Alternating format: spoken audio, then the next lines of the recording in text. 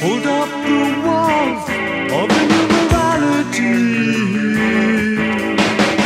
Maybe shut on mind, shorter on sincerity. Waiting, waiting, can't get enough, got to wait till tomorrow. Hoping and praying when we get up, you'll be